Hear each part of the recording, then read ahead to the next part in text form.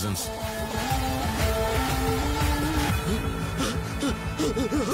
ஐயோ சிகரெட் போட்ட போட்ட ஜனங்க யாரும் அவனை பார்க்கலனா கூட அவன் பேர் எல்லாருக்கும் தெரியும். Rocky?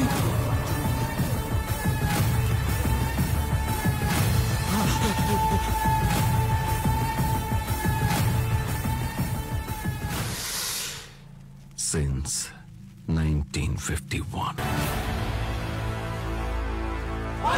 Fight! Fight!